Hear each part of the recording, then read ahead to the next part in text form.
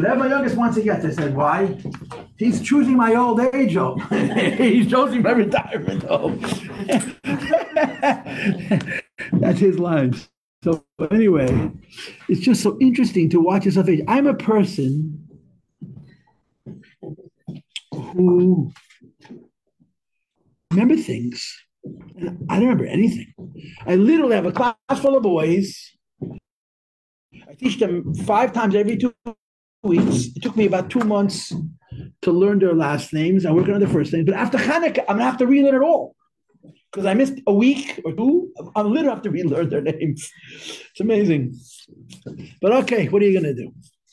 My wife says, You can't talk that way. So listen, I might as well laugh rather than cry. Don't you think? Thank you. Thank you very much. It's amazing to watch your body. They say that, uh, you know, when the Rebbe had his stroke, Leilenu, they, uh, they got a machine to come to 770 to do an MRI. So the first time they came was the night of the stroke. The stroke was on a Monday night, and it took a very long time to get such a machine. They never had a problem after that, never. Anytime they called, they got a machine right away. Why? The machine costs ten dollars. Uh, it's a truck that's got a, a, a mobile MRI. So it's like, who you are? Come now. You have to make an appointment and schedule. As soon as they paid a lot of money, they got the machine to come. They examined the Rebbe's brain. I have a tape of Yingi Bischitsky. I remember I told describing it that as soon as the Rebbe's brain came up on the screen, the technician says, "Oh my God!" So Yingi says to him, "What? It's terrible." He says, "No, I've never seen a brain like that. I never seen a brain like that." He tells him that as we age, our brain shrinks, and the brain cavity is filled with fluid. Never had a young brain. Physically, biologically, the Rebbe's brain had not aged. And I, uh, may please take these. And I understand, you don't say Lahavdil by Yidden, but they found the same thing with Albert Einstein. When Albert Einstein died and he donated his brain to science, he had a young brain. The brain did not shrink. And somebody told me, um, a relative of mine who knows that when Abiel was ill, Abiel Kahn, the Rebbe's, really, the Rebbe's mouthpiece.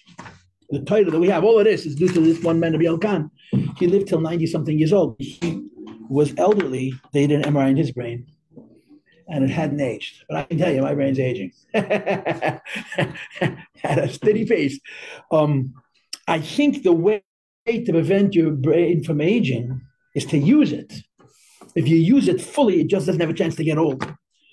Um, and Abiel, Abiel was 85, 90 years old, and his recall was as good as it was when he was 20, which is extraordinary. It's very unusual. Uh, one of the Rebbe's uh, transcribers, Reb David Feldman, I didn't hear it Rebbe, but I heard his name. A lot of the Rebbe's talked. The Rebbe spoke for 40 years. And the Rebbe spoke for thousands of hours. And it's all title original. And there was a certain Farbrengen which we didn't have, missing. From 1957, and this happened after Gimel Tammuz, after 1994. So how many years have passed? A minimum of, I don't know, 30 years. And David Feldman finds a Hanachi, finds a transcript of that Farbrengen that we didn't know existed. So he goes over to the Biel, Biel Kahn, and he shows him the original transcript. Look, there's missing a bunch of stuff. So Biel says, Yeah, I remember. And he proceeds to recite from memory a Farbrengen that the Rebbe said 30 years before, 30 years before. And David knows it's accurate because he's holding Hanocha. David is listening to him talk, and he knows that he's not making it up because he's holding in his hand the transcript. So as Abiel is reciting it, the David starts to speak with him. And Yoel says, How do you know it? He says, Because I'm holding the transcript in my hand. And you know by heart. A, a talk for hours the Rebbe said 30 years earlier. It's not like the Rebbe said one talk. The Rebbe said thousands of talks. And Yoel Kahn was there for each one. He was the Rebbe's. Without the Kahn, the volume of the Rebbe's Teda would be reduced probably by a fraction of 10. I, I don't think it's an exaggeration. Especially the more difficult ideas, the, the scholarly ideas, the creative ideas. People could remember words. He understood. The Rebbe would come up with a new approach to learning. Before the Rebbe was done talking, he had it all figured out. He had an incredible brain, unbelievable brain and his brain never aged. Well, my, my brain is aging. So one of the symptoms is my inability to remember names. And now I, I don't remember faces. Wow, that's a new level. It's a Naya Madrega. So uh, I have chosen the path of laughing at myself. The previous Rebbe used to say, he said it more than once, that if you don't want to forget anything, never say you forget. Never say it. But I keep forgetting that instruction. That's my weakness. But you see, some people are actors, you know. I'm a teacher in a school. I'm a teacher once a week. And there's also your girls, and I have a different relationship with girls than I have with boys. But these hours every day, for hours every week, and my own students, I, remember, I don't remember their names, and the uh, boys in the other classrooms, every single week, what's your name? What's your name? It's a joke. Because three times a week I lecture to the whole school. Every morning I lecture to my class, and three times a week I lecture to the whole school. So whenever that happens, it's like the biggest joke if I remember their name. And some of the kids get insulted. So I know people who play, you know, they just make believe they know who you are. Oh yeah, it's nice to see you. And yeah, really. but I, uh, I'm that's not one of my uh, strengths. So Rabbi say, here we go, Kinderlach. Thank you for all for coming on Chanukah. I realize that Chanukah is vacation time, and judging from the attendance, I'm going to go with the assumption that people are busy enjoying Chanukah with their families. This, I think, is our third week. I missed last week. I missed last week. I was in, I was at a wedding, California, Baruch Hashem. So I was at the wedding, yeah, Baruch Yamas. It's a good excuse, yeah, good excuse. Um, it's a third class on Nadini Makabal, and on L'Shem Yichud, which is those two lines before Baruch She'amar. And um, I feel very stupid because every week I look more and I realize all the things I said wrong the week before, I need to fix them, you know. So it's like when I'm done teaching you, I'll be ready to teach you. That's how this all works. Um, so last week's big discovery was that, and I actually found it this morning. I, I found it again. I didn't find it in the Kunizayah. I didn't find it in the Gnome Kunizayah, but I did find it in the Kisei Melech's Pirush on the Akdam of the Kunizayah. But I did find it in Kisa Arizal, what's called Charas Midas which is the weekly, we say it every morning, Tukit Zimmer, called Shadas Midas, that the Arizal writes, he's supposed to say before every mitzvah. The Arizal writes before every mitzvah, the share. So when I came here two weeks ago, two classes ago, I told you what the says in Adin Even Yisrael's book, may he rest in peace, that the source of the Shem Yichud is from, um, they say the Kisei Melech, Buzaglo, Shalom Buzaglo, who was a little bit before the Alter Rebbe. Then I came back last week. Well, it says also in Shalah, and it's also brought the name of the Arizal. I, f- I found it this morning in the Arizal, and again, the original source of it is the Zohar. It's the Zohar. The Zohar doesn't say to say the prayer. The Zohar says to do the meditation. And um, later on, people made a prayer out of it. Now, if you were here two weeks ago, the class two weeks ago, we did two things. But the dominant feature of the class of two weeks ago was a quote from a book written by our Rebbe's grandfather's grandfather called Sha'ar HaKoil. It's the first comprehensive commentary on the Alter Rebbe Siddur. HaKoil is a wonderful piece of work by a great scholar, a really, really masterful Talmud Chacham and Gon, and I guess you could call him a Makubal also. And he wonders about the Shem Yichud, and he does he does a really unusual twist on it. Because the Sha'ar HaKoil's question is, if we're doing the L'Shem Yichud prayer as all Kabbalists do, we should do it as all Kabbalists do, which is before each mitzvah. Before you put tzitzit, I told you this. When I was in the Satmar Bungalow colony, every morning before you put on your talis, they would wander around the room, read like a half a page of words. Beautiful, beautiful stuff, which we don't do. The Shem Yichud putting on tzitzis. Then they would do another wandering around the room. The the Chassidish, uh, the non Chabadnikas, they walk around when they daven, for better or for worse. That's what they do. They wander, and he gives, and it's beautiful words. And then he said the Shem Yichud, he puts on his tefillin. We do l'shem yichud only once a day. And we don't do it before we're doing a mitzvah. We do it before we say Baruch She'amar, which is a prefix to a prefix to Shemoneh Esrei, which is the mitzvah of tefillah. So the Sha'ar HaKoilel wonders why did the Alter Rebbe do this? Why did the Alter Rebbe decide that we should say L'Shem Yichud once a day? If we're saying it, say it before each mitzvah. If we're not saying it, don't say it at all. What's this business of doing it before one mitzvah? And he actually gives a nigla answer. The Sha'ar HaKoilel, this is, if you were here two weeks ago when we learned this, the Sha'ar HaKoilel, the Shem Yichud is straight out of the Zohar. it's a Kabbalistic term. Yichud, Shemirichud, Shchente, Yud, Vach, it's all Kabbalah words. But he actually explains that all these Kabbalah words are being said for a halachic purpose. And the halachic purpose is that davening is like a korban. And a korban needs to be lishma, korban for the sake of heaven. Meaning, the Sha'ar HaKoilel is wondering about the Alter Rebbe. Do we say l'shem yichud before a mitzvah, or do we not say l'shem yichud before a mitzvah? If we do it before a mitzvah, we should do it. If we don't do it, we shouldn't do it at all. So his resolution is that we're saying l'shem yichud once a day because we're doing it for davening. In other words, he's saying we don't do it for mitzvahs, we do it specifically for davening. And the reason we're doing it specifically for davening is because davening is like a korban, and a korban needs kavanas. One of those kavanas is for the sake of heaven. So he actually neglicizes the Kabbalah. They're reading Kabbalah words before we start to daven, but those Kabbalah words are said before we daven, not for Kabbalistic reasons, but because of the halachic need to daven for the sake of a Kaddish Baruch. This is the position of the Sha'ar HaKoilel. And two weeks ago, when I was here last, we spent the first class, which was longer than the second class, reviewing this. Okay. Then we learned the Likkutei Torah, and I actually gave you the page. If you remember, I gave you the page of the Likkutei Torah, where we read what the Alter Rebbe has to say about L'Shem Yichud, explaining it mystically, Apikabah. Now, you're going to see in today's class, which is this Sikha, but I suspect that this is going to be in our second, I'm going to stop, and when we start, we're going to read the Sikha. The Rebbe, in quote, disagrees with his grandfather. I told this to you that I had a teacher, Toslang who used to say that, I never heard the Rebbe say this, but he's older than I am, that the Rebbe used to say, here I, Here I disagree with my grandfather. Shara Koil was the Rebbe's mother's great grandfather. He was Rebbe's grandfather's grandfather. He was an incredible God, unbelievable Talmud Chacham. And um, the Rebbe did not know him. He passed away probably 15 years before the Rebbe was born. But I'm assuming the Rebbe's mother knew him as a girl. And um, the Rebbe is going to disagree with the Shara Koilo. And basically, the nature of this agreement is going to be is that the Shara Koilo resolves the question of why we say L'Shem Yichud only once a day and not before every mitzvah by explaining it api halacha, api nigla. And the Rebbe can say, oh no, my grandfather's wrong. The Alter Rebbe holds that we say L'Shem Yichud for Kabbalistic reasons. And we do say it in relationship with every mitzvah. But for reasons we're going to get to later, we only do it once a day. So the Rebbe is going to disagree with his grandfather his grandfather held that we that according to the Alter Rebbe that we say it only once a day. The Shem is for halachic reasons, before davening, like a korban. It's not about mitzvahs. And the Rebbe going to say, "My grandfather's wrong. It is about mitzvahs. It is about Kabbalah.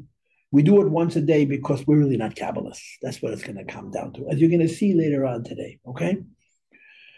But last week, when we did all of this stuff, I also gave you some insights from other holy books on the meaning of the Shem Yichud from Hasidic sources. Um, uh, so what I want to do is this. Today's class will be dominated by the Sikha. This is, I think it's a watershed Sikha. I think it's a classic Sikha of the Rebbe. It, it, was it was given out the last tissue before the stroke. It came out Rosh Hashanah Tafshin and Beis, 1991. And in this Sikha, and there are other Sikhas like it, but this Sikha I think is very direct that ever presents his understanding of what the Alter Rebbe meant when he made his siddur. What was the Alter Rebbe's intent in making what we call the Alter Rebbe's nusach? And when we when we learn the sikha, which I hope to do today, I'll explain to you more what the controversy is, what the question is. Okay, but before we get to the sikha, I just want to share that this morning I looked more, and I found more insight from Hasidic Rebbe's about non-Chabad Hasidic Rebbe's about the significance and the meaning of the L'Shem Yichud. So I want to start today's class, in addition to the review that I just did, by sharing you some insights from other Hasidic Rebbe's. I touched on it a little bit last week. Um, I guess I could say I'm more prepared to talk about it now. Um, from various Hasidic Rebbe's. The first source that I want to cite is the Toldos Yankov Yosef. Rabbi Yankov Yosef Polna, he was a he was a student of the Baal. Many thought he had the rightful, he should have been the, the Baal successor. He wasn't. The Magid was, he was a very great man. He knew the Baal for a very, very long time. And he asked the L'Shem Yichud a thought. Now, I, am going to be honest with you. The thought that he has, I'm keeping in my pocket because I want to leave it for last. It was the last thing I'm going to be talking about is where the Tanya talks about L'Shem Yichud, but I don't want to give it away right now. But the Vart that told us is very similar to that of the Alter Rebbe. I'm just going to say it very briefly now. We will revisit it later, Mitzvah Hashem. Later means not this week, but hopefully next week. And that is that there is a question in theology, which Rabbi Manis Friedman is very busy with these, dear, these years. we do Judaism, we're doing it for us and we're doing it for God. And the way to say it in fancy Hebrew is it's it's three words. Avoida tzedek gavoya. Avoida means work. Tzedek for the benefit gavoya of heaven, and it can either be written with a question mark or with a period. Avoid Avoida tzedek gavoya with a question mark means God really cares what we do, and the answer to the question is no. It's not for God. It's for us. And there's a whole body of Jewish theologians, the non-mystical, the philosophers who say, avoid the tzedek gavoya with a question. Hashem doesn't care. It's for us. But the Kabbalists disagree and they say, no, avoid Aveda Tzedek do are for heaven. They matter to him. So the Talmud of Yaakov Yosef says that the reason we say L'Shem Yichud is because we want to declare as we serve God, learn how to do mitzvahs and daven. In other words, he holds to do it for every mitzvah, is we're not doing it for ourselves only, in parenthesis. Eh, we're doing it for God as well. So that's the first insight. Now, this first insight that the Talmud brings, I think, is consistent with the Tanya, which I'm going to leave for a separate class because I want to get all excited about that. Okay. Then um, he brings. I, this is all from a book which is called Sidra Ganram Kabbalah from Björn Weinstock, which I have, and I, I, forgot to look up. I'm a fool because it would have been one of the best sources. Had I looked him up in the beginning. Who's the book by? His name is Weinstock, Yoel Weinstock. He lived in Jerusalem. He lived 84 years, wrote 84 Svarim and Kabbalah. He lived in our times. He passed away in 1980. I guess that's not your times, but I was 15, uh, 14. He was a great man. He was a great Kabbalah in Jerusalem, and the Rebbe had a relationship with him. Um, and he wrote a whole set of Svarim called Siddur HaGoinim HaMakabalah VaChasidim. He explains the Siddur according to the Goinim, that means Nigla and Halacha, and the Makubalim, that's Kabbalah, and also Chasidus. So he brings from the Kamarne, one of the great Hasidic rabbis, was uh, Isaac of Kaman, the Isaac of Kaman, and he, his uncle was the Teres Tzvi. I don't have time to give you the history; it's not important. The Pesha did the Choiver. So he, the Pesha did the Choiver didn't have any sons. So when he passed away, his nephews all became a Rebbe in his place because they were his sister's sons. And one of the most famous of those sons was uh, Rebbe Isaac of Kamane. And the Rebbe used to mention the Kamane by Farbrengens. The Rebbe held very highly the Kamane. In fact, he's in the back of the Shasidir, he's mentioned about saying Tillim, saying uh, Mishnayos at the end of davening is from the commander. Our source was from this commander. He was a very big god and a very big mukubal, and the Arabim held of him. And the Kabbalah drank a glass of water. He didn't do anything without saying it's for God. He was a very holy man. He was a very, very great Kabbalist. He lived, he swam in Kabbalah. He was a contemporary of the Rebbe, and he seems to be quite similar. He was completely immersed in mysticism. And he used to say, you know, the, the Rama would put, you don't just serve God with your mitzvahs. You serve God with a cup of water. And he would literally say the before he had a glass of water. He, every move in his life, he would say, it's not for me, it's for God. In other words, it's not even for me to get close to God. It's for God. God needs me to do it. This Kaman Rebbe, I, I, I, I knew uh, this. I tell you, Tzvi, the the, the, Rebbe. I, I, for many many years, davened by the Beis David Gershon Shul across the police station, and the rabbi there, who was now deceased, was a descendant of the the Rebbe Rebbe's. Very proud of them. So he told me that the the the, the of the Rebbe, that is Tzvi, who was, I don't think he's his grandfather, he's his great great uncle, great great great great uncle, said on his deathbed, he was lying, he was passing away, he was holding his head in his hand, and he talked to the book. And he said, Zohar, Zohar, who will ever learn you the way I did? That's what he said. And it wasn't arrogance, it was truth. Who will ever learn you the way I did? Because in Hasidus we're taught that you learn Torah and do mitzvahs for two reasons. The first reason, it brings you closer to God. The second reason is for the sake of the Torah. The Torah needs us to learn it to bring the Torah closer to God. And that's the meaning of this. Everything I do is not for me. Everything I do is just for HaKadosh Baruch The quote that he used no, not the Zohar. We do it for in order to bring closer to Hashem. To bring the Torah closer to Hashem, not ourselves. That is the deeper meaning of the Shema, right? Mm-hmm. And I'm going to get to this at length next class, next week. Um, but that's what they were saying. That's why he would say the Shem Yichud, not just saying he did a mitzvah. He would say, you have a glass of water. He didn't. He did not allow himself to do anything in this world without acknowledging that not only he's doing it as a servant of God, which is which is a high level in itself, but he's doing it for God's sake, which is a much higher level. It's fascinating. Number three, and this is from the Kalina, the Besarin, the Balna Kalil.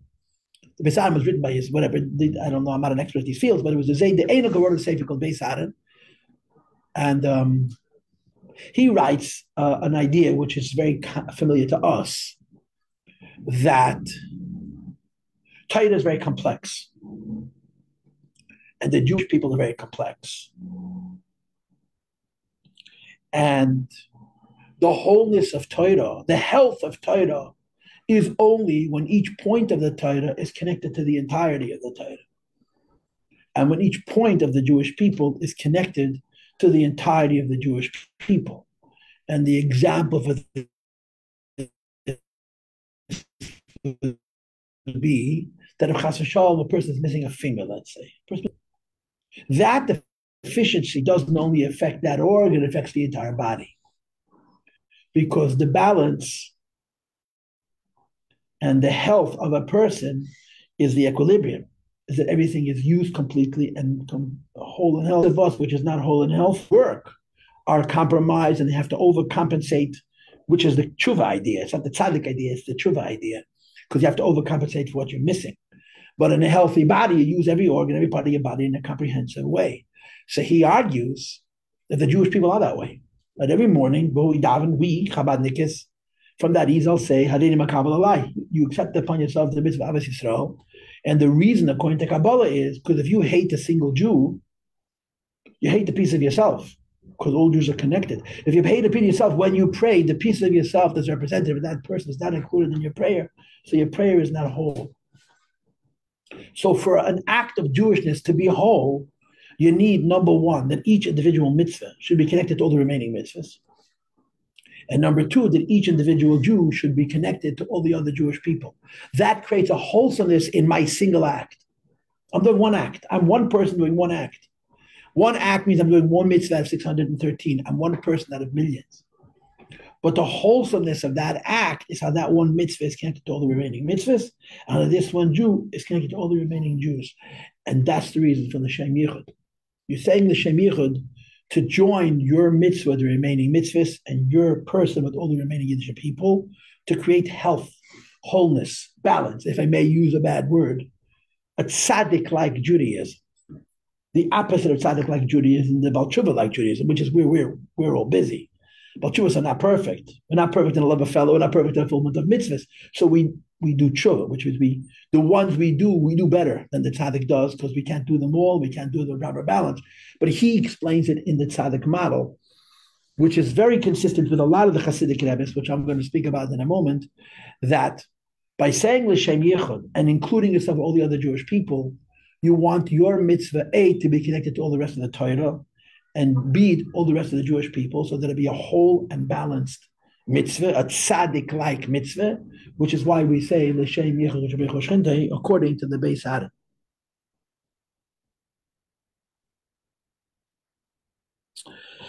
And then you have the Rav said, Zera Kodesh and said, and Igor Kala, who I don't know where it's from, who say the same thing I just said. They just say it in different words. They say, and this is such a Hasidic idea. This is really more. I mean, we're living in a in a dark time. But if you can go back to before the Holocaust, what I'm about to say is classic Hasidus. Not Chabad, not Chabad. Forget, Chabad is not this way. Typical Hasidus. Typical non-Chabad Hasidus. One of the, I mean, the key ideas that it's all about the tzaddik. It's all about the tzaddik. You know, you learn this in Breslov. If anybody's been around Breslov, you hear that even now. It's all, everything is the tzaddik. Everything is the tzaddik. The tzaddik is everything. And if you want to be okay, just get on his wagon. You know, slap out by the payas, as they Nachman used to say. Everything is the tzaddik, the tzaddik, because the tzaddik is whole. Tzaddik is healthy. Tzaddik is balanced. Tzaddik is integrated. He's integrated all of his parts, integrated all of his mitzvahs, and he loves all people. He's integrated all the Jewish people. So the Rapshit said, and the Igor Dekala, I should know who that is, but I didn't have a chance to look, um, say that we say l'shem yichud because we want to connect what we're doing when we do each mitzvah, when we daven, we study Torah, to tzaddikim.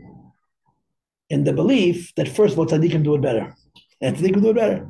And we want to do a mitzvah based on their kavanah, their intent. Moreover, we want to be attached to them as they're doing these mitzvahs, so that we have the tzaddik advantage. And the tzaddik advantage is wholesomeness, health, and balance. I have 613 components to my body. I have 248 limbs. I use them all.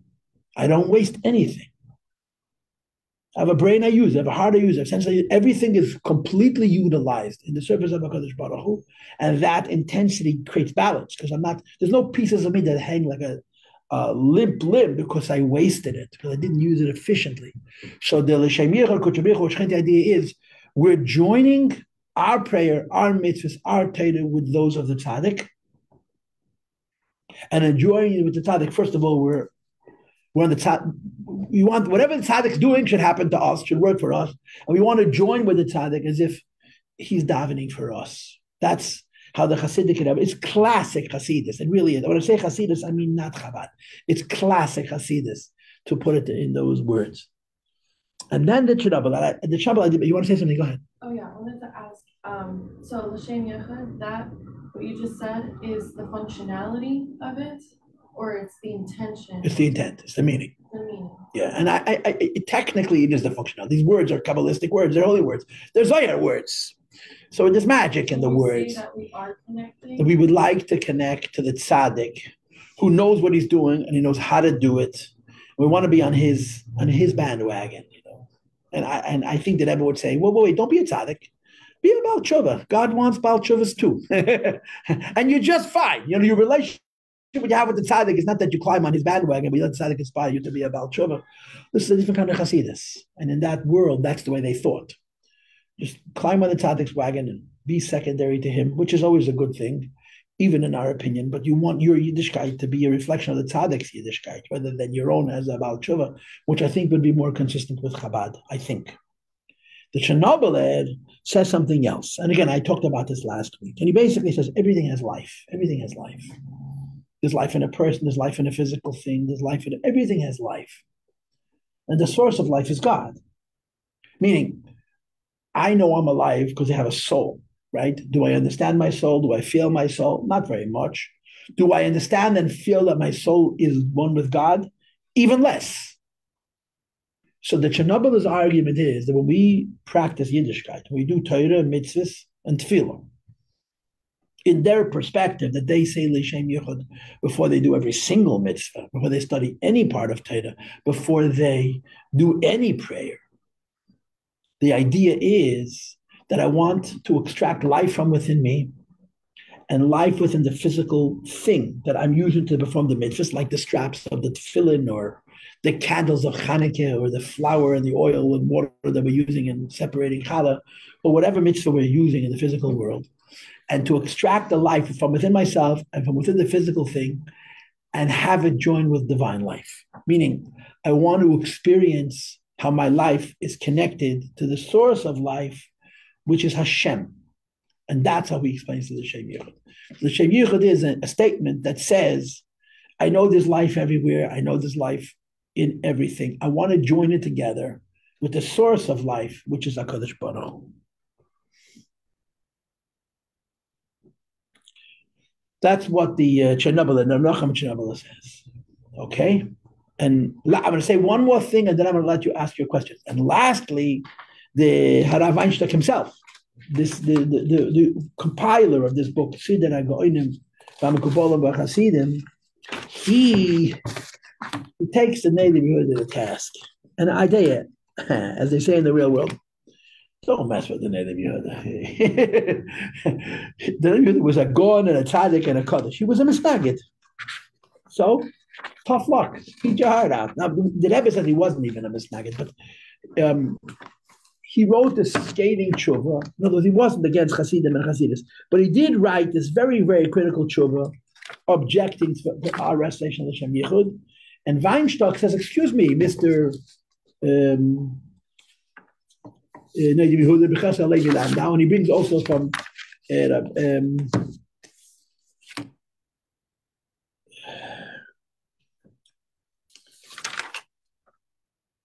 Chaim who also critically, very critically attacks the recitation of Shem Yichud, he said, how can you oppose the Shem Yichud? I don't understand you. Isn't it true that when you do a mitzvah, you have to have? Isn't it basic to Jewish thinking that when you do a mitzvah, kavanah, when you do a mitzvah, you're supposed to have a proper intent? How can you tell a person not to say this? The whole meaning of the mitzvah, they should have a kavanah for the sake of Hashem. When you're studying Torah, when you're praying, when you're doing mitzvahs. And the Weinstock, his approach is so, he sort of feels so confident in objecting to what the Noda BiYehuda says. He says, why would you say that? Why would you say not to say l'shem yichud? It's a basic idea. When a Jew does something, you have to pay attention to what he's doing. It has to have meaning. In the language of the Gemara, mitzvah is kavana. When you do a mitzvah, you're supposed to have a certain intent. You're supposed to have a certain kavana. And I mentioned this to you two weeks ago. There's an argument. There's a halachic debate. If I blow shofar and they have no kavana to do the mitzvah blowing shofar, I'm doing it to kimisasik. Am I mekayim the mitzvah or not? And then, assuming I blew shofar and I knew that I'm doing it to the mitzvah, do I have to know the particular meaning of why I'm blowing shofar, or is it just to have the basic meaning? There's a big argument whether mitzvahs need kavanah or not. And as I explained it to you, what's unusual about this argument is that this argument appears in the Gemara. The Gemara brings different opinions about whether the question of mitzvah sichas kavanah or not. And the Gemara really has very subtle uh, conflicts in the way it presents its halachic position. And usually, when the Gemara argues about something, the Rishonim no longer do. They all agree. Right? The, the Gemara does an argument, and the rabbis basically all agree what the halacha is. This is one of those instances where the Gemara argues about it, and then the Rishonim argue about it again. The Rambam holds you have to have kavanah do mitzvahs. The way it's brought is the Rashba holds no, you don't have to have kavanah mitzvah. There's a big debate whether mitzvah is kavanah or not. Um, but everybody would agree that even if you hold that if you did a mitzvah without kavanah, you still yaitze, having kavanah would be better. Right? The halacha is like, don't have kavanah. The halacha is saying, even if you didn't have kavanah, you yaitze the mitzvah, but it's far better to do the mitzvah with kavanah than do the mitzvah without kavanah. And this is what the Weinstock, um, the the the Moitzi the, Malaket, the Machaber of this Sefer, says in arguing with the Noda BiYehuda. And I mentioned to you two weeks ago that Hasidus brings this argument, whether mitzvah is given or not, and says that they're both true. Halachically, they're both true. Why? Because on one level, you're not supposed to have a kavanah. You're just supposed to do it because God said. Don't try and just the greatest kavanah you can have is I don't know the meaning. God said, and I'm doing it. And if you read the language of the Rebbe Yehuda, that may be what he's trying to say. Don't try to figure out the meaning of the mitzvah. Just do it. The other opinion is each mitzvah has a different kavana, not just that Hashem said to do it, a specific kavana. So the Chassidus brings, you have it in the middle of you have it in the Rebbe Rashab, that both are true. You're supposed to do a mitzvah without a kavana, just for the sake of God. Are you're supposed to do a mitzvah with a kavana, knowing the particular meaning of the mitzvah. So there's two levels. So the Weinstock saying to the Noda BiYehuda, excuse me, sir, why would you object to people saying L'Shem It's a halacha, you're supposed to have kavana, would come down to this question, what kind of kavana you would need. But that's my final thought. Does anybody have any questions or any comments? I warn you, if you have no comments and no questions, I will break. I don't mean break myself, I'll break the class. Okay, I'll come back in five, please and, I'm under the sikhana. Okay, come back at eleven thirty. I'm going to start. Believe ended. Okay, you're also in the class at the beginning of the year, yeah? Um, yeah. Yeah. Where do you normally sit? Here. You were my house once, right? Yes. This is amazing. okay, I'm, I'm sure amazing. Thanks for having me. Thanks for forgiving me for not remembering you. Okay. Okay, five minutes, people. Thank you for the water very much.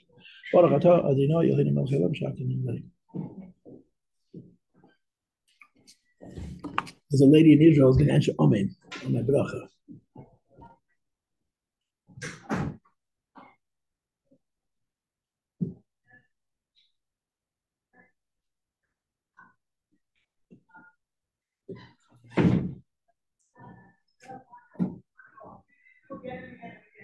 I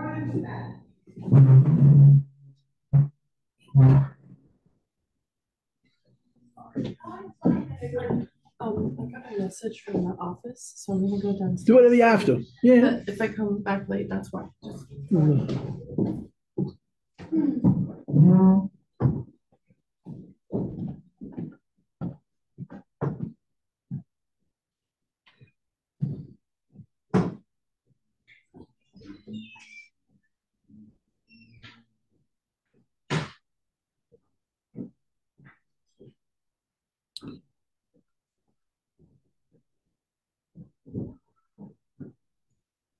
Oh, come on.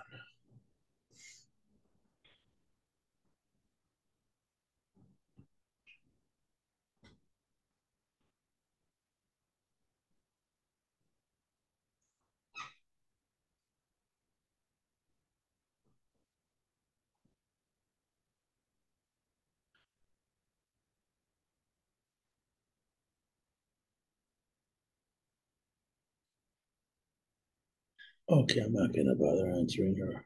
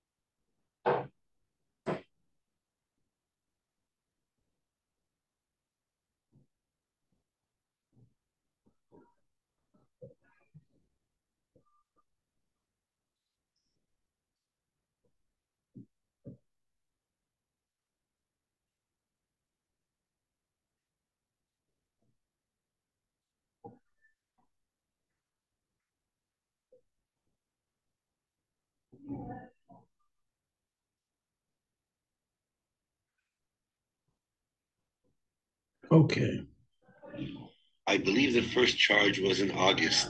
So it was August, September, October, November, and I guess December if it already went through. So keep one more, keep uh, August obviously is what I pledged. Keep September as well. And if you can refund the other ones, it would be nice. Thank you very much.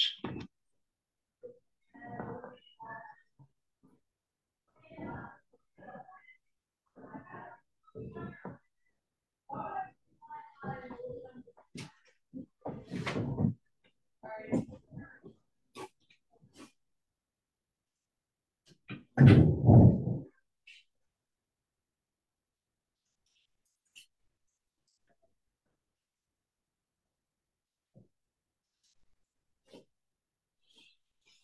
Sforim Menachem Tzion that the gave after Gimel Tammuz has a letter from the Rebbe to uh, community in Northern California when when Itche Spring Itche Drizzen was there, where a woman died at a Sim Sefer. And it was very tragic. And the question they had is, how could something bad happen at a good event? That letter may speak to what you need. If you can't find it, then you'll remind me. I'll try to find a picture of it.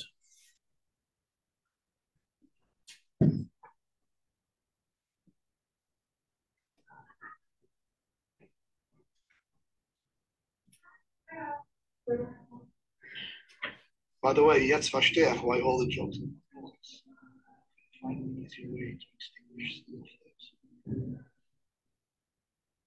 Did you see this thing? There was this Turkish uh, minister who got up to speak about how he's going to kill all the Jews in the world for what they're doing in Gaza. And right in the middle of Turkey, the guy fell over and had a heart attack. It's hysterical. Yeah, it's hysterical. That's amazing. You didn't see it? No, Oh, it's going around. will you send it to me? I'll send it to Rabbi. Yeah, I'll send you the link.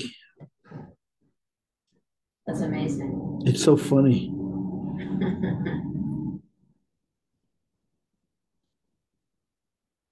He had bad came back. It's very good Kavana, actually. Well, I mean, for him, yeah, I got him.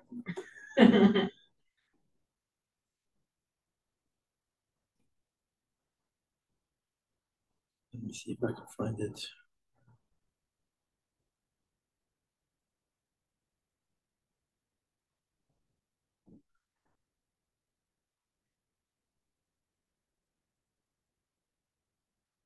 It's funny because when you just said that, I was reading Psalm thirty-four. It says, "Evil brings death upon the wicked."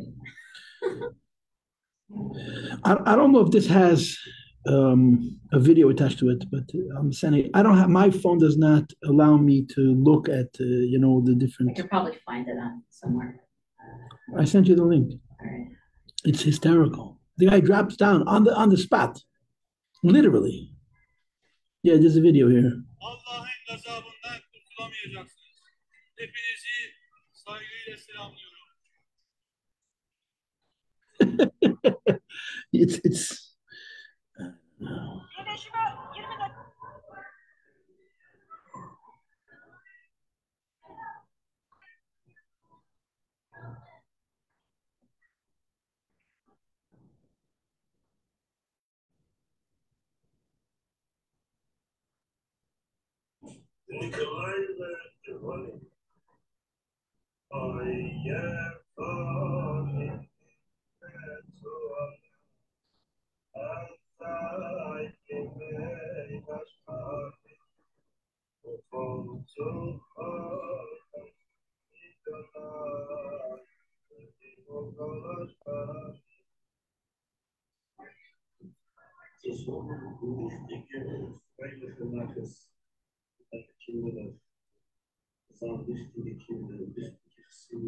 He speaks in Yiddish. Huh? He speaks in Yiddish. To me, Oh, you know Yiddish? no, but he, Rabbi Eli only talks to me and he texts me only in Hebrew and he talks to me in Yiddish, so I'll learn. Are you learning? Yeah, Oh, sweet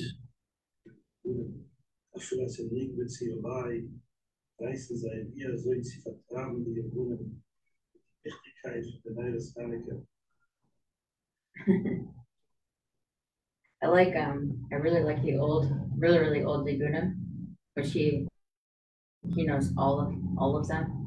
So we're always sharing back and forth and then if I have questions I try to write him in Hebrew because I'm trying to, you know, I'm trying to learn more. But it's he's amazing. also teaching me Yiddish because I said I want to learn Yiddish I feel like a lot of young people don't learn Yiddish. Yeah, That's a I, cool thing. I, I don't think it's that important, Dan, frankly. That's my take. You don't think it's important? Hebrew is important. Yeah. The reason to know Yiddish is for the Rebbe Sichas, but That's what I mean. I think it's important for some people to be able to speak Yiddish. Right. And I feel like if you could speak Yiddish, you can infuse certain things into your home. yeah, it's it's a yeah. The culture affects. Okay, it's uh, 300 seconds times two. Our class has been evacuated, but we're gonna start. Yeah, call their bluff.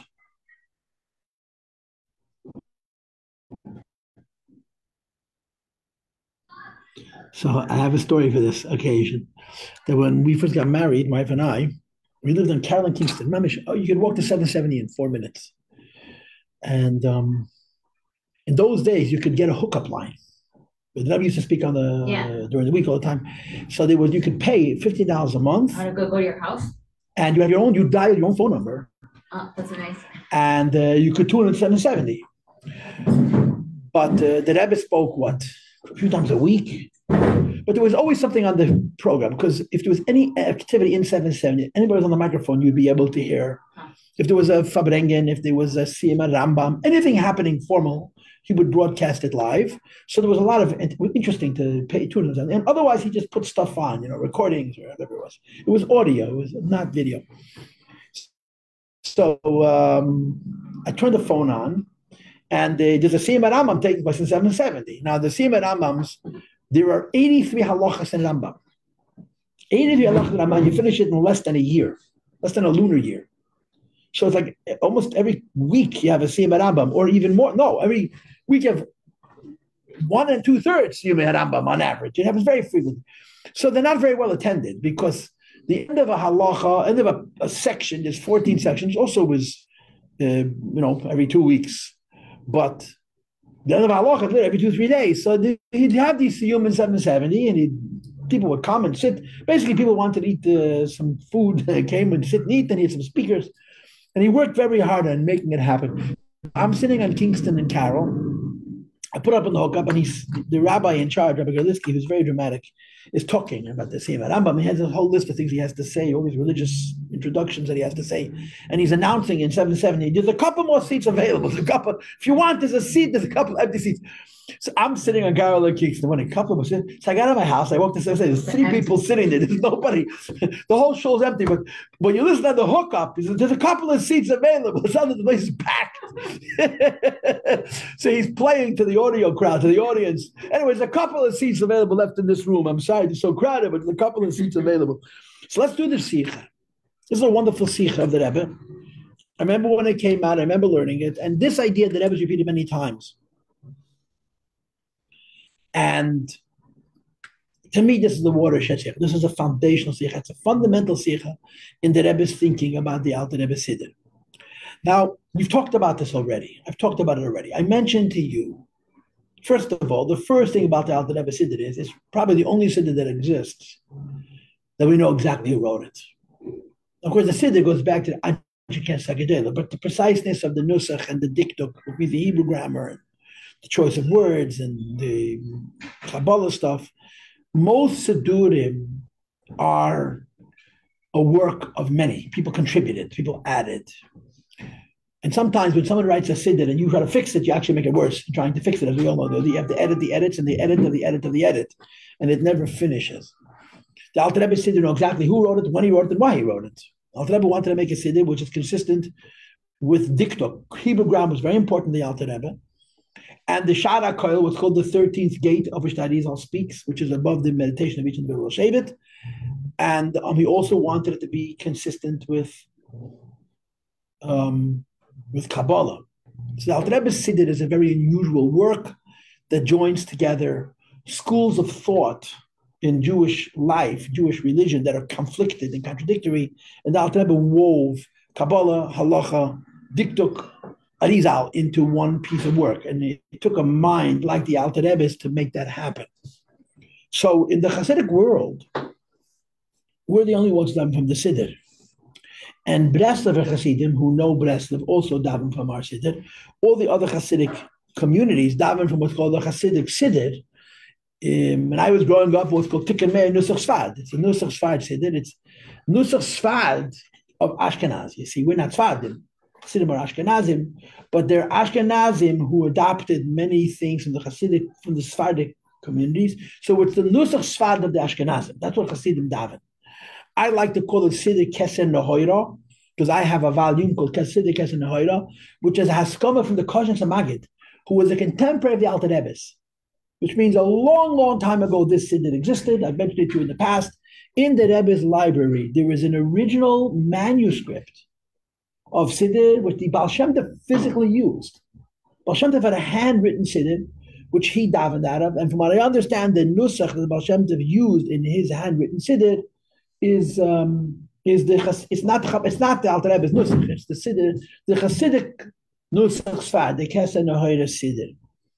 So few Hasidim actually daven from the Alter Rebbe's Nusach. And there's all kinds of reasons. And one of the reasons is, is the belief that it's too holy in some Hasidic communities, the Hasidic Rebbe, the Tzaddik, uses our Nusach, and the Hasidic the Hasidic Nusach Sfard. In other Hasidic communities, and we knew such a Jew, my father knew such a man, our neighbor, across the street, that the Chazan on the in the shul on the bima on the omid with the Chazan daven there was an Alter Rebbe's Nusach. Whoever was the Chazan daven from our Nusach, and the whole community daven from the Hasidic uh, Nusach in the belief that the Siddur is too holy for the commoner. And this is an issue that the Rebbe talked about often. The Rebbe felt that that's a big mistake. The Rebbe argued, the Rebbe and our Rebbe argued that when the Alter Rebbe made his Nusach, it's true it's a very holy Nusach. It's true it's very Nusach because it goes to the deepest secrets of Kisvei Arizal. But at the same time, the Alter Rebbe felt that everybody could, and this quote on this is Shave lechol nefesh. It's equal to all. As holy as this nusach may be, as precise as this nusach may be, it is shavalachal nefesh. It is meant to be used by everybody. This is how the Rebbe himself, the the Alter Rebbe's nusach, and the Rebbe went to bat for this. In other words, the Rebbe was a Rebbe for many, many, many years, and over the course of those many, many years, the Rebbe initiated many, many uh, projects or initiatives or inspirations. There was a unique body of time in the early 1960s where the Rebbe was on the soapbox of people davening our nusach, that we should make people appreciate that this is better, it's special, it's precise, and that it's not only for tzaddikim and for chazan, it's made for everybody to use. And the Rebbe had a simple proof, a simple support for his position, which was that if the Alter Rebbe, in fact, made this siddur to be in such a holy level, that it's only meant for mystics to use, he would have put the meditations into the text, into the siddur, around the siddur, put the meditations. I don't know if you know this. I, I have at home, I have at home four different siddurim that are all called siddur harizal. I just never wrote a siddur. Uh, the truth it, I didn't write very much at all. Arizal spoke. He didn't write. His disciple, Chaim Vital, wrote. And Arizal wrote, spoke about meditations.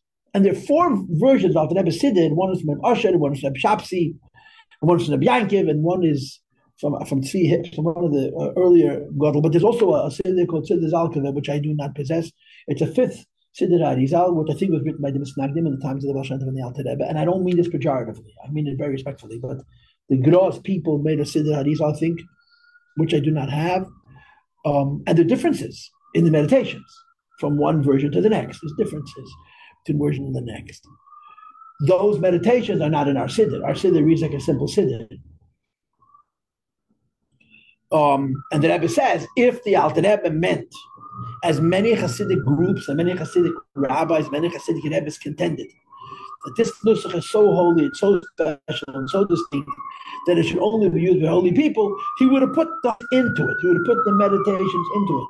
And the fact that he did not disprove that it's shavalachal nefesh, it's meant for everybody.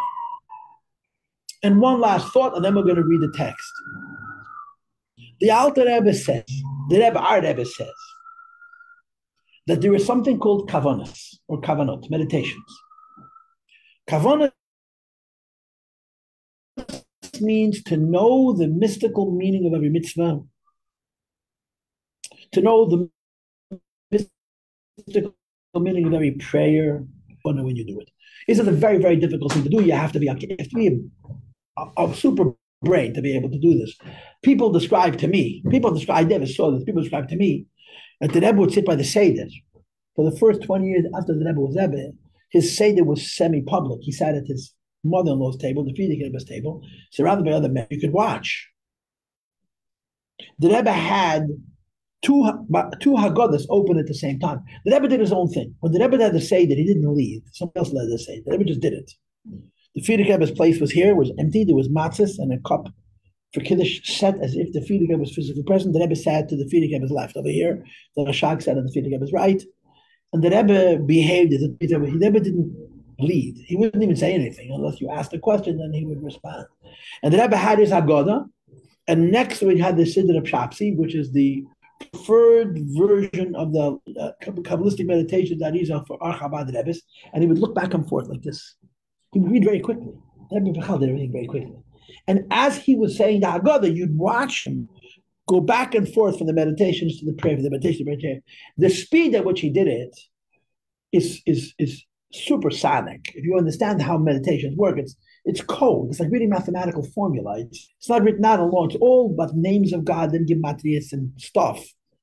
And the Rebbe would, would you would actually watch him do the Seder back and forth.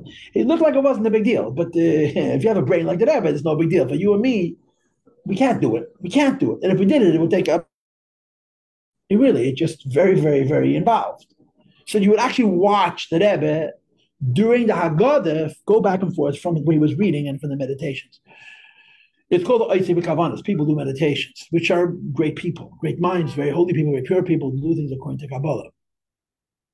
So the Rebbe writes, and you're going to see it in the Sikha momentarily, that when he made a Siddur, when the Alter Rebbe, our father, the Avinu Arishan, the Alter Rebbe made his Siddur, he actually meant for people to say it be Kabbalistic significance, because of Kabbalistic precision, because it's meditations. Because the Alter Rebbe held that even people who are not on the level of Kavanah have a connection to Kavanah. If I can do the meditation, at least I'll read the words that carry those meditations, that have a relationship with the meditations. And that is the way to understand the Alter Rebbe Siddur. Statement number one.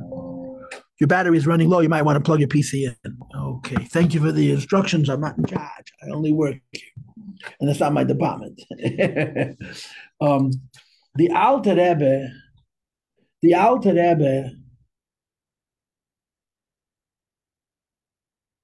wrote a nusach. Oh, so the two statements would be statement number one that the Alter Rebbe Siddur is shavel nefesh. It's uniform for everybody, and the proof is it didn't put the kavanas in. And at the same time, even though it's shavel nefesh, on the one hand, he is saying that when you daven from this nusach, and you don't have a clue what the meditations are, it says in Hayom Yom, it's actually written in Hayom Yom, that when a person davens and he doesn't know the meditations, the person davened, he should just think that Hashem should consider it as if he thought all the meditations and accept his prayer as if he davened with the meditations, even though he doesn't know the meditations. This is a Hayom Yom that says this, this idea. So those are the two sides. A, it's for everybody. B, he did mean that we all have a connection to the Kavanas. But you're so to speak, yoitze, you you you achieve what the Kavanas are meant to achieve by saying these words, by davening from the proper text. And even though you don't know the meditations, it's as if you had the meditations. This is the position of our Rebbe in explaining the Alter Rebbe's Nusach. It's for everybody, and it absolutely means that everybody, at least on a spiritual level, is connected to the Kabbalist meditations. You should have a general kavanah that Hashem should consider as if you had all the kavanahs. Okay? Does anybody wish to speak, or otherwise let's read? Okay, let's read. So the way this works is like this. In case you're new, when we do sichos, which we did until a couple of weeks ago, we read only the underlined. So if you if you, if you take out your stack, turn to page 44, you'll see what I underlined, and we're just going to read the underlined. So. We're not learning the whole sikha. This sikha is about tkir shayfer, about blowing shayfer. We're not touching the tkir shayfer part. We're speaking only about the l'shem yichud part. Okay, based on these two foundational ideas. That number one, the Alter Rebbe Siddur is shavel l'chol nefesh. Alter Rebbe made a Siddur equal for all people. And number two,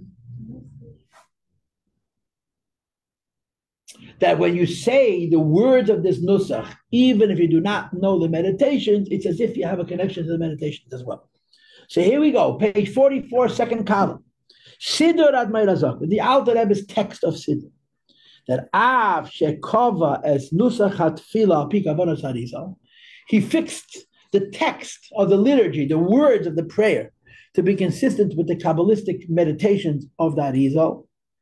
It should be precise. The wording should be precise in a way that will bring forward the meditations of Kabbalah. And it means specifically the Kabbalah of the Arizal, because there's different Kabbalahs. And the Arizal's Kabbalah is considered higher than the other Kabbalahs. Like Arizal writes in his introduction to the Shara Kavanis and the B'nai Chaim, that there are actually 12 nusachs. Each Shavit, each tribe had its own nusach. That Ezel says now we only know four of those nusachs, but originally there were 12 different texts of prayer that correspond to the 12 Shvatim. Most people do not know which Shevet they belong to, and therefore what nusach they should daven. So he created a higher level of prayer. If you read in Rabbi Mangel's introduction to our English Siddur, he brings this there. That it's called the 13th gate, the inclusive gate, that no matter what Shevet you belong to, going through this gate gets you to heaven uh, properly. And that Izal made Kavanas to conform to this 13th gate, to this highest level. And the Alter Rebbe wrote a text of Siddur that represents or that carries forward this particular approach. Lazeh, in addition to the fact, she it should be precise, gamma be to Hebrew grammar and valoshin and syntax and language and form. Alter Rebbe wanted a Siddur to be perfect. Halacha, Kabbalah, Diktuk, you name it. And he worked incredibly hard to create such a perfect version of Siddur. Mekomokim at the same time. He did not include, did not copy into the prayer text itself the meditations. So if you're making a siddur according to Kabbalah, and specifically you're making a siddur that's conforming to the Kabbalah of the Arizal. So if you're doing all that effort, why don't you include the Kavanah? And the answer is Lefi she'enei davar hashayach l'chol nefesh kanal. The actual meditations of Kabbalah is not something which is realistic for everybody to do. I told you this last time, that I was once in 770 in Rosh Hashanah in the afternoon. And I saw a man davening Mincha Hashanah for the Siddur HaRashash, Rav Shalom Sharabi. What he did was he took the meditations on Israel and he writes them out in longhand. So you literally have a whole page with one word, Baruch. and the whole page is mentioned. Next page, one word, Ata, and a whole page of meditations. Next page, one word, Avaya. It's, it, you can go out of your mind. It's like Sweet Freeman. Uh, uh, what do you mean? He, his books, he breaks down every single word of the brachas. Uh, but but this how it is. It's not each bro- each word. Yeah. So I'm watching this Jew pray, Mincha, Rosh Hashanah, and he's looking at the meditations and he's reading. So I waited for him to finish. I've never seen anything like it in my life. I said to him, "Do you understand what you're doing? Because it's very, it's very impressive. You understand what you're doing?" He says, "No, I don't." So why are you doing it? He "I like it. I like it." Okay, that's a good answer. So the Alter Rebbe didn't like it that much that we should do it, even though we know what we're doing. He just made the text, but he didn't include the nusach, the kavanas. The but the truth is that it's implicit in general. The kabbalas, the kavanas that Arizal wrote or spoke, that were written down by his disciples about how to pray and how to do mitzvahs, was always meant to be for special people. If you don't know how to do things like Kabbalah, it doesn't make you a bad Jew. It was never meant for everybody. Always meant for a select group. Avo. Yoisa Nira Leia, there's I want to take it a step further. And this is really the Rebbe's big chiddush, and that's this. The Zeh Guf, the fact alone. Shadmur Hazokin Keveya Nusach Hatfil. The Alter Rebbe writes a text of the liturgy, a text of the prayers, which is Nusach Shave L'chol Nefesh. The Hebrew wording of the prayers themselves is uniform. We all say the same words. But he wanted that the wording of the prayers should be consistent with the meditations of the Arizal, even though most people who are going to use this siddur are incapable of doing the meditations. Here comes the chap. When one prays out of this prayer book, even such people, they know nothing about the meditations, nothing. But they're reading from this text. They have the effect actually of all the mystical things that are brought forward by the people who are doing things according to Kavanas Arizal. That is the radical point of the Rebbe. It's made for everybody, and it's special. It's made for everybody, and I'm not special, and I can't do the meditations. But when I read out of this text, says the Lubavitcher Rebbe, our Rebbe, in explaining the Alter Rebbe Siddur, it's as if we knew all the meditations, even though we don't know them. And that was the Alter Rebbe's intent. That by davening out of his nusach, we have the advantage of as if we did the meditations, even though we do not know the meditations.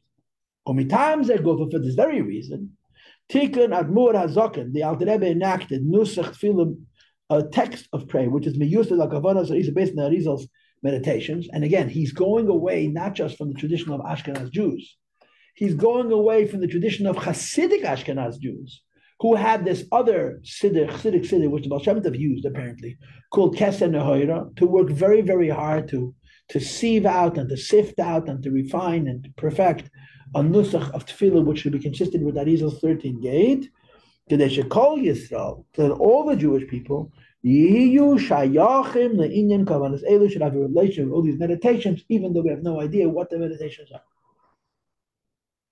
So those are the two sides of the coin. A, Shabbat Nefesh. It's for everybody. B, davening out of the Siddur does give you a link to the Kavanas. Okay, and in footnote 14, he brings a letter from the Rebbe Rashab, who the Rebbe Rashab basically says, sure, the Rebbe had great Kavanas. Whether you like him or you don't like him, you got to do what he said. You got to read it. Just follow the Alter Rebbe's lead. He's, you can trust him. He's cool. Next page, page 45 now. Yoduim divrei kveidushas mervachame yadma. We all know what the Frierdiker Rebbe said. And this is in the this is the quote from the Hayek that I mentioned before. Yodua makubal. It's known and it's widely accepted. Asher Elu, that those people, which is me and you and all of us, They don't have the kind of mind which is so strong and so focused. To have the kavanas of Kabbalah in davening. Because they lack the knowledge or they lack the focus, lack the meditative powers and so on. Maspik, it's enough. Sheyechavnu kavana klolas. They should have a basic kavana. The basic kavana is that liyez tfilose nishmas of yizbarach that our prayers should be heard by Hashem. Im kol kavanas with all the meditation on mavuadas bekisvi harizal specific kabbalah with. And even though I don't know what the kavanas are, I'm credited for as if I had davened with those kavanas, even though I didn't say it. But this paragraph that we just read is from Hayom Yom that even non-Kabbalists, if you have connection to Hasidus, you daven from the Alter Rebbe's Nusach, and we daven from the Alter Rebbe's Nusach, you have in mind that whatever meditations you're supposed to be thinking that you can't think because you don't know them, it's as if you're doing them, and that your prayer should be accepted on high. Okay? Now turn to page 46. Okay? And we move to the L'Shem. So girls, are we good? Not to say yes, no. But say, no, we got a problem. Thank you. Oh, you're so good. The good is that A, the Alter Rebbe said this for everybody. B, it is special. And simply reading these words is that you have all the commands. Now comes the question. What about the Shem Yichud? What about the Shem? Now, girls, you have to understand. There are three places in the Alter Rebbe Siddur where he brings Kavana, Kabbalah, in the Siddur. Number one, the Shem. Number two, by the Seder of Pesach, when you spill the wine, the Alter Rebbe suddenly goes Kabbalah on you. And number three, before you blow shofar, he writes Yochanan Latz And the Rebbe is wondering if the Alter Rebbe did not in his Siddur Kabbalah, why in these three places does he do it? Once every morning, the Shem Yichud. Once every year, the Seder we pour the wine, and once every year we blow shofar. This is his question. Now, we're not learning the whole sikha. I'm not talking to you about the tkiyas part. I'm not talking to you about the wine and Pesach part. It's not our business. I'm talking only about the l'shem part. Now, what's the question? Did do it before every mitzvah, or don't do it at all? Do it once a day makes no sense. And as I explained to you before, the Sha'ar HaKoilel, the Rebbe's grandfather's grandfather, was very bothered by this question. And the only resolution he was able to come up with is that the Sheikh had said before we daven, like a korban, because of a halachic issue. It's not about mitzvahs, it's just about tefillah. Korbanos. Well, the Rebbe is going to disagree with grandfather and say, no, no, no, no, no, the Sheikh is Kabbalistic. The whole sin is Kabbalistic. Yeah, but, right? Yeah, but, right? It's a rabbit. He says, yeah, but, not ribbit, but yeah, but, yeah. Not, I mean, frog, yeah, yeah, but, yeah, but, that's, it's a Yiddish word but before, um, so what's the point of saying one day for every prayer? And the answer is to compromise, meaning if you have three choices, never to say it, always to say it, or say it occasionally, then there was a smoke between the raindrops. Let's read it inside. Okay? The Sefre Kabbalah is in Kabbalah works it's written. Shekedem kol mitzvah. Before you do any mitzvah, tzichem loima, you must say l'shem yechud b'chush they grows, and you have to break that down into three basic columns. Before you study Torah, you have to say l'shem. Before you pray, you have to say l'shem. And before you do each and every mitzvah, you have to say l'shem yechud. Okay, Ubakama Sidurim, actually many Sidurim, particularly Hasidic Sidurim and Svardic Sidurim, that In fact, you have these words, the Yichud as you're going to be seeing Hashem in the class that I'm going to give you next week. Before the performance of multiple mitzvahs, not just one. Before Talis, before Tillin, before everything. When it comes to the Alter we find something very odd. He does not put l'shem yichud before doing individual mitzvah, which is what bothers the Sha'ar HaKoilel. Shouldn't it be before every mitzvah? That's why he concludes.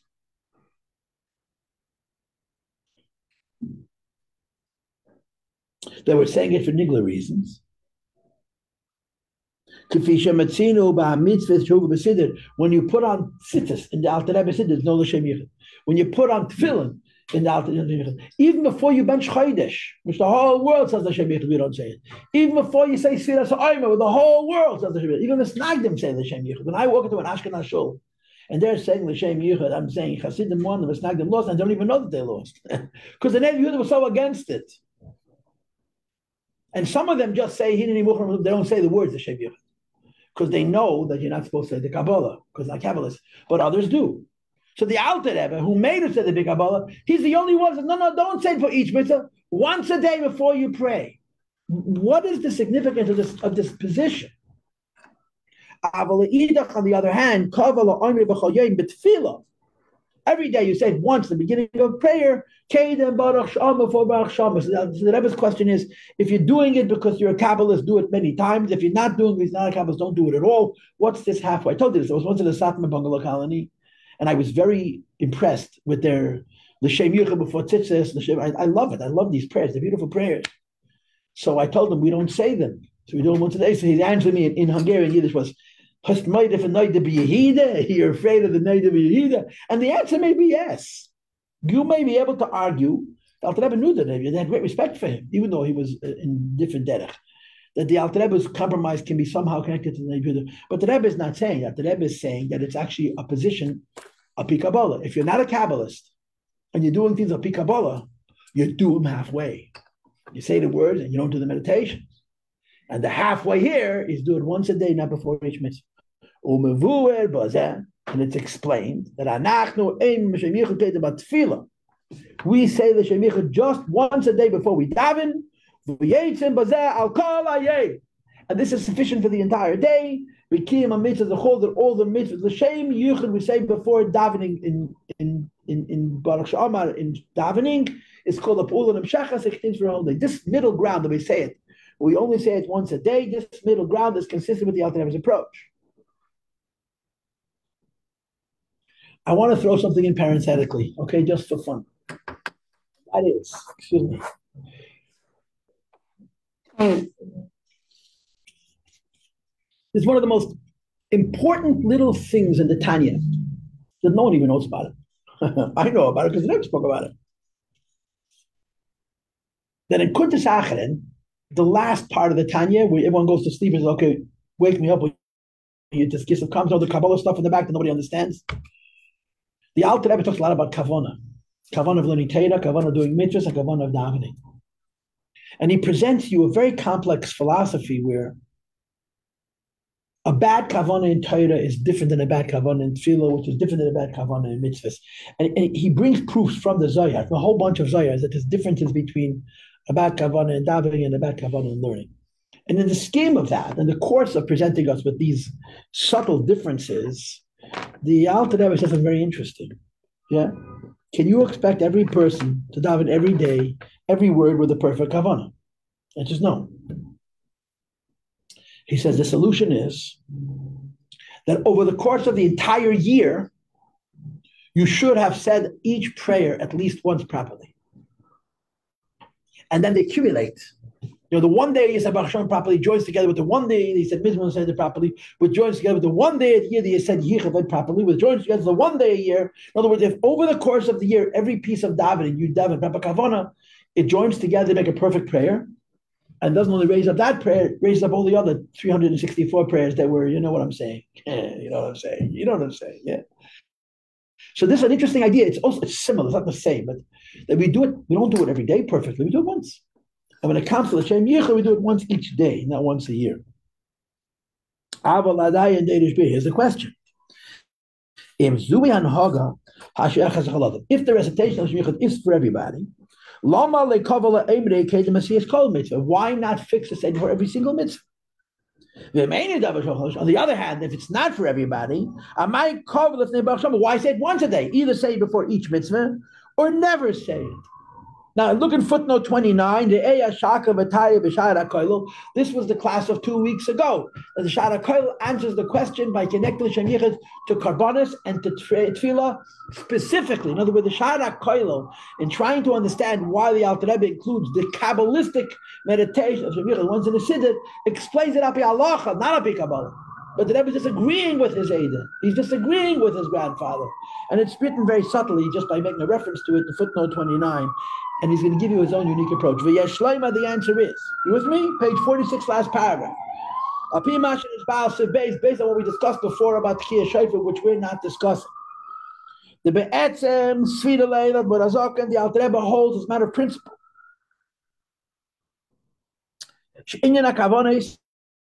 The meditations, Gam Abi Asoid, including the meditations of Kabbalah, Shayech L'chol Nefesh. Every Jew really has a connection and should have a connection to the Kabbalistic meditations of davening. But our ability to have relation with the nifal is only when it comes to the to the to the passive event. What's going to happen as a result? The nifal, the effect of our davening. Nefesh nitin. Every Yiddish and neshama was given the strength. Lifel to affect as hanyanim v'hamshachis those ideas and those drawings down. Ham mefurashim top of forty seven now. The kavanas hamitzvot which are explicit in the kavanas of mitzvahs. Av shemaise hakavones eini davar Even though the process of doing the meditation is not the same for everybody, we can't all meditate. We can't all meditate the same way. We're still connected to the kavanas. We're not connected to the kavanas to thinking the kavanas. We're connecting to saying the words which are consistent with the kavanas and getting credit for the kavanas, even though we didn't do the meditation. That's his position. Therefore, the Rebbe concludes, "Al pizeh need a limit." That's what I want to say. Shesfila Marazagin Al Rebbe holds. Shetarach Ad Leim L'Sheyuchad Agapanim Bachadiyah. You say it only once a day. You don't say it five minutes. Once a day. Why? Because it's a middle ground. A, you have a connection to Kabbalah. B, you're not a Kabbalist. A, you have a connection to Kabbalah, say L'Shem Yichud. B, because you're not a Kabbalist who knows the actual meditations, once a day is enough. A Jew must bring about the unification of Hakadosh Baruch Hu and Shechina. Became kol mitzvah mitzvah, which is going to be manifest in doing each mitzvah. The meshach alayim kula over the course of the entire day. That av she'enei davar Hashem nefesh, even though it's not equal for everybody to the Shem Yichud. Lechaven l'shevichah b'cholu. B'kiyim kol mitzvah, mitzvahs, how we do every single one of the mitzvahs. Meshach aliyim kula during the course of the day. So none of us, at least most of us, are not in the position to actually have the proper kavanas. So I want to tell you a cute story. I have a collection of Siddurim, which has grown over the years. I have quite a few Siddurim. And uh, a young man reaches out to me, a Russian fellow. I, I didn't know him. His wife learned here. This goes back 20 years. He said, I understand that you have Siddurim on Big I said, yeah. He borrowed the Shalah and the Ramak, basically the the Ramak. The guy was younger than I was, and he was about tshuva. And I, I mean, I couldn't imagine how smart he was. I said, "What do you need to study for?" I want to look through them. I said, "What are you going to have from it?" He says, "Oh, I'm going to know them." I said, "No, no, no. I have a photograph." He tells me, "I have a photographic memory." So he comes, he borrows Dusadurim. A week later, brings them back. He says, "Test me." The guy blew my mind. He knew all the meditations. he looked through it. Again, that's such a rare. If, if that person's memory could be matched by his intelligence, the guy's a Superman. A normal person. He knew by heart. So he was going to daven with the Kabbalah of the Shalah, which was the Alter Rebbe did before he became the Hasidus, he davened the Shalah's meditations, without even having the book open in front of him, just from memory, from reading it. It's a remarkable gift. Most people don't have that kind of memory and that kind of retention and understanding it is a whole nother level. So the Rebbe says, we can't do it and we can't do it properly. But we don't not do it at all. We do it once a day. It's a compromise. The it's true that it's not uniform for everybody. To have the proper meditations when saying the B'kiyim kol mitzvah mitzvah. I do every single separate mitzvah. B'meshach kol in the course of the day. B'komak nevertheless. It is within the power of each person to have this kavana. I'll call upon him on at least on the level each one according to his level. One of the things you have in the introduction of Tanya is that the mitzvahs were all the same. A holier Jew doesn't eat more matzah. A holy Jew doesn't shake an essig for more days. A holy Jew doesn't blow more sounds of shofar. The mitzvah is the same. Achas mitzvah achas. But the meditations, the kavanas is neidav ashorim baila. It says in Zohar, kufu madim believe Every person's in a different place in their ability to meditate. So the Rebbe says every human being, every Jew, according to whatever limit level he's on, has a relationship with the idea of thinking that as he davens, he's doing it in a way which is consistent with Kabbalah, at least b'shas tefillah. Not when he puts on tzitzis, not when he puts on tefillin, Not when he studies Torah, which you do after davening, and there's a meditation for that also. Not when you give tzedakah. We did, I mean, these are all things written in Kabbalah's form, you know, over the course of the day. You do this mitzvah, and you do this mitzvah, a whole schedule of what mitzvah you're supposed to do according to the mystical meditations. But once a day before you daven, that's enough. But that you got to do because you could. Each person at his level, the most basic level is I don't know what I'm doing, but you do. So you make it, you work, they work it out that my davening and my mitzvahs and my Torah should be consistent with uh, with these kavanas, even I do not know the kavanas. Um, saying these words and having this meditation at the beginning of the day, nimshechas is drawn to all the various things hanas and that happened in the course of that day. Canals we discussed before, page forty-seven. It's the right column. The last couple of lines are underlined. And this explains the Alter Rebbe's opinion. He fixed that we say it once a day in the morning prayer, or gufa, more specifically, betchilas hatfil, the very beginning of the morning prayer before Baruch She'amar. Now, some people would say, why not do it before Adeni Makabo? And they actually, the Sha'ar HaKoilel gives his opinion for why, but he's speaking from a halachic angle. We're speaking from a Kabbalah angle, so you can't really, we can't use his answer. But there's a why it's put before Baruch She'amar and not before Adeni Makabal, I don't know. But the idea is that Rebbe is really saying that the Alter Rebbe is walking into the raindrops. He's making a central position. The central position is everybody has the shaykhs with this nusach. Because everybody shaykhs to Kabbalah, Kabbalah, even if you have the shaykhs to Kabbalah at all. So you consider it, you, you say to Hashem, you put the words together, you make the tziddur from work, you make my davening mystical, and once a day we say the Shem Yichud, and each one of us on our own individual level tries to affect that in saying the Shem Yichud, we're, we're, we're achieving what the Kavanas mean, at least in part.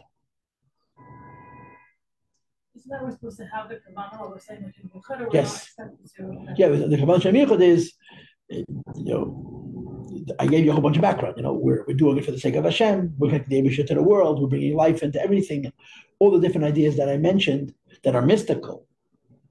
And we do it once a day before the Shem Yichud. And the more, the additional kavanah is that it should spill out into everything you do over the course of this day.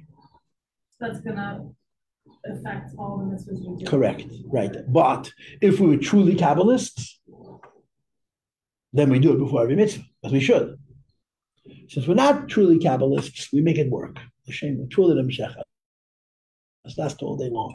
Does it only affect all the mitzvahs of that day if you have that Kavanah, that you're, you know, at a basic level of what you're doing, say the Shem Yichud? Or When people ask such questions, I have a standard answer, which is don't worry about it. Just do your best. No, do your best. Do your best. Do your, tell you he does our best. You know, if the Abisha doesn't like what he made, he didn't have to make it. No one asked him to make a Holocaust. No one asked him to de- destroy the continuity of Jewish tradition in every Jewish community in the world and to, to, to, to rebirth the Jewish people after the Holocaust with a complete disconnect from their ancestry and to try to figure it out. We're good. We're good. You know why? Because we can be so much worse. And we're justified. We do our best. That's all we can do. Don't eat your heart. I'm not trying to say this to be callous or to be cavalier. It's the truth. You know, we, we come from a very rich tradition. Chabad is a very rich tradition. But it's not for the faint of heart. And we're the faint of heart, but we're the next link in that chain. So how are we the next link in the chain, which we have very little to do with? And the answer is we do the best we can, and that's it. If the doesn't like it, he can be Mashiach. No one's stopping him. We're not stopping him from being Mashiach. He's stopping him from being Mashiach, and he can fix all of this. Then we'll all be connected to these meditations. That's how we do it. But this is the position of the Alter Rebbe. So the takeaway is, I, I, I think about lot. I really do. I think about lot because Kabbalah and Hasidus are not the same thing. They seem the same. They overlap a lot. Kabbalah and Hasidus are not. They're really not the same thing. Kabbalah and Hasidus are two different philosophies. Two different philosophies, let alone bodies of knowledge. And the Rebbe is saying part of the Hasidic teaching is that everything written in Kabbalah for those really weird special Jews is for all of us. That's the difference. Kabbalah was made by special people for special people. Chassidus was made by a very special person for every ordinary person. And it goes so far as to say that even the mystical meditations, which we have no business, we don't understand them, we don't begin to know how to practice them, are really for everybody. So we dabble in it. We dabble like that Jew in 770. I'll never forget the scene. A Yid steht unter dem Weibeshul. I, I remember where I was standing. A Yid is standing and davening for the Sizar Rashash. He's turning pages, like he's looking at pictures. so I wanted to see what he's doing. And he, said that Rashash, every word is a page. I mean, just the beginning. Eh, The meditations are not that long. If, if it was literally every word a page, then Shmoneh would be a volume of books.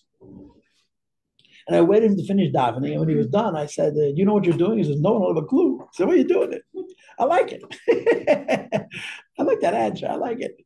Um, but the Rebbe is saying it's not just I like it. There's credibility to it.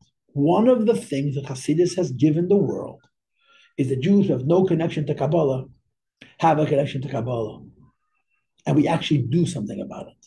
We say the Yechad once a day. We do the meditations before Shoifar once a year. We do the meditations and we still the wine in the cup, in the plate on Pesach once a year. Those are the three cases where in the Alter Rebbe Siddur, he put the meditation and they're supposed to carry over for the whole year. That's the concept. Go ahead. Is there another talk where he says, um, about, uh, if you wrap tefillin once a day, it's like you're twirling on over Torah day and night? And so that's the Maimon, the mitzvah Yeah, Maimon. but- You yeah, study Torah But I'm saying it's a similar, he's saying just do it once a day. And it's as if you were doing this, all, it's an adjustment for a common, more common person that maybe can't wrap with, I, I, I think it's accurate. I think it's accurate. I'm saying it's I- a, it's a similar thing to saying some, doing something once a day versus doing it multiple times a day without the true, um, it, no? Yeah. It's kind of similar. It's an adjustment for a person that can, for whatever reason, do it. It's more than an adjustment. It's an empowerment. Yeah, and empo- that's what I mean. It's like a, Only a tzaddik could make this up. yeah, You have to be the Alter Rebbe. You know, you have to have such access to holiness that you can put into your prayer that a simple shlub reads these words and doesn't know what the Hebrew means, and it's as if he davened a Kabbalah. You can't just say I like that. You have to put it into the siddur. That's a holiness that the Alter Rebbe implanted in the siddurs. It's what the Baal Shem brought into the world. but also to empower someone to say, if you just tefillin once a day, this is such a big, it's a big, such a big mitzvah for you. I, I understand the correlation. I understand the comparison. I, I'm, I'm not disagreeing. Shall we? If I have till 20 after, I gave you two minutes. Okay, thank you all for coming. at and Chanukah and Kol Tov, and we want Mashiach now. And do not forget our brothers and sisters in the Holy Land.